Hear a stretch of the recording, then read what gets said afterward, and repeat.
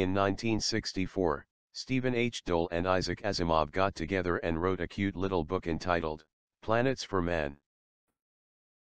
Chapter 8 An Appreciation of the Earth For all the pictures of far travel and of strange worlds beyond the sky that we have been presenting in this book it is still on the Earth that we live at present.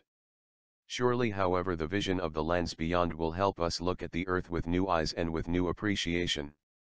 We take our home for granted most of the time.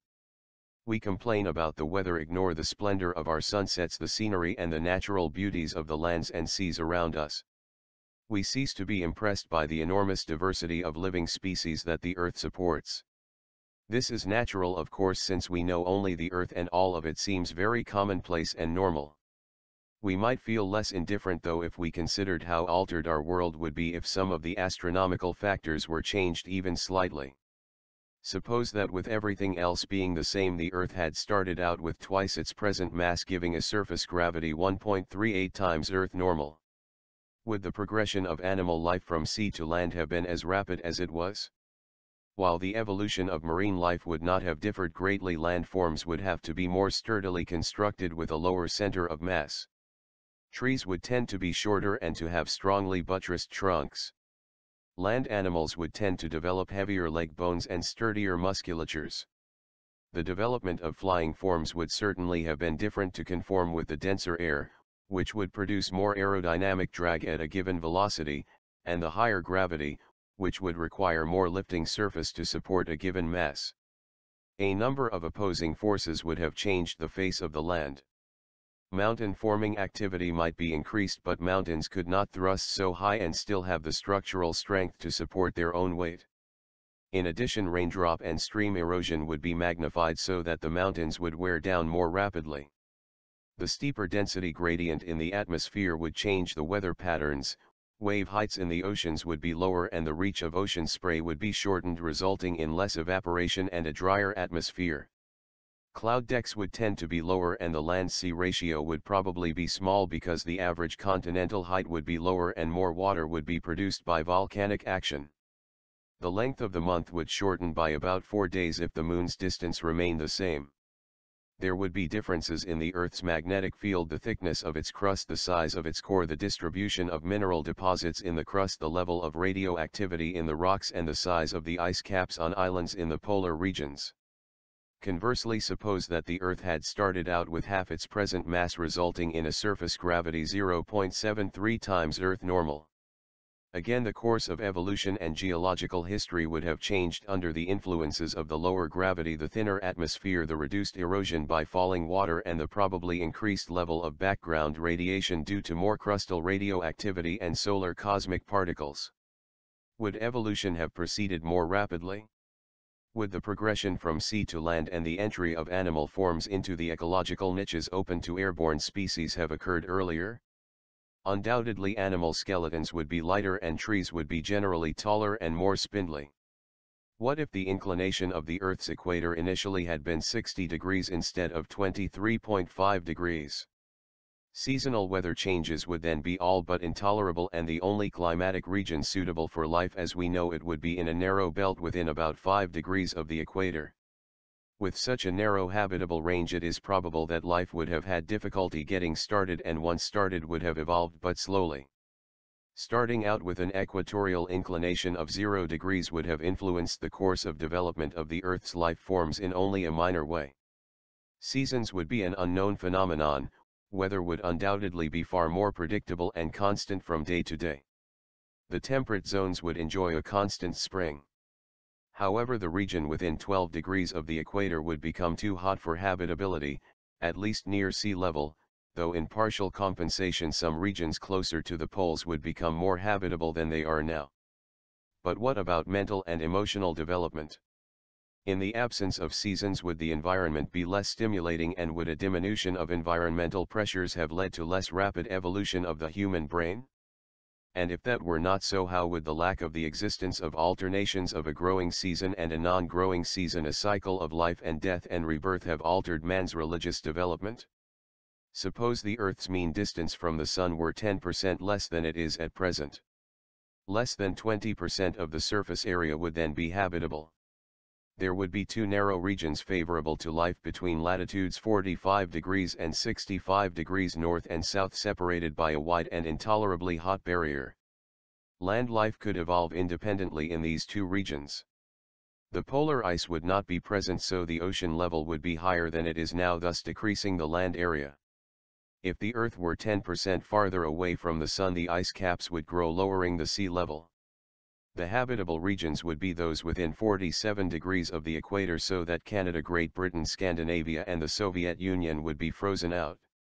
If the Earth's rotation rate were increased so as to make the day 3 hours long instead of the usual 24 the oblateness would be pronounced and changes of gravity with changes of latitude would be a common part of a traveler's experience. Day-to-night temperature differences would become small and it is difficult to predict what sleeping habits we might have developed or failed to develop. On the other hand if the Earth's rotation rate were slowed down to make the day 100 hours in length day-to-night temperature changes would be extreme and weather cycles would have a more pronounced day-fitting pattern. The sun's movement across the sky would be almost imperceptible and few life forms on land could tolerate either the heat of the long day or the cold of the long night. The effects of reducing the eccentricity of the Earth's orbit to zero from its present value of 0.0167 or increasing it to 0.2 without altering the length of the major axis of the ellipse would have little effect on the planet. Increasing the mass of the Sun by 20% and moving the Earth's orbit out to 1.408 AU, 130 million miles, to keep the illuminance at the present level would increase the period of revolution to 1.54 years, 563 days, and decrease the Sun's apparent angular diameter from the 32 minutes of arc as it is now to 26 minutes of arc. Since a more massive star is a hotter star the Sun would not have to exhibit as much apparent surface to give us our necessary illuminance. The Sun would under these conditions be a class F5 star with a total main sequence lifetime of about 5.4 billion years. If the age of the solar system is taken as 4.5 billion years then the Earth under these conditions could look forward to another billion years, possibly less, of history rather than the 5 to 7 billion to which it can look forward now. An F5 star may well be more active than our Sun thus producing a higher exosphere temperature in the planetary atmosphere, but this subject is so little understood at present that no conclusions can be drawn. Presumably apart from the longer year the smaller apparent size of the Sun its more pronounced whiteness and the imminence of doom life could be much the same. If the mass of the Sun were reduced by 20%, this time decreasing the Earth's orbital dimensions to compensate, the new orbital distance would be 0.654 AU, about 60 million miles. The year's length would then become 0.59 years, 215 days, and the Sun would look much larger with an apparent angular diameter of 41 minutes of arc. The primary would be of spectral type G8, slightly yellower than our Sun is now, with a main sequence lifetime in excess of 20 billion years. The ocean tides due to the Sun would be about equal to those due to the Moon so that the rotation rate would have slowed down more than it has and the day would be more than 24 hours long. What if the moon had been located much closer to the Earth than it is say about 95,000 miles away instead of 239,000 miles? The tidal braking force by now would probably have been sufficient to halt the rotation of the Earth with respect to the Moon and the Earth's day would equal its month and become 166 hours, 6.924 hour days, in length with respect to the Sun. Consequently the Earth would have great extremes of temperature and would be non-habitable. Increasing the mass of the Moon to 10 times the present value would have the same effect even though it were left at its present distance. The day-month would then be equal to 26 24-hour periods. Moving the Moon farther away than it is would have much less profound results, the month would merely be longer and the tides lower. Decreasing the Moon's mass at its present distance would affect only the tides. What if the properties of some of the other planets of the solar system were changed?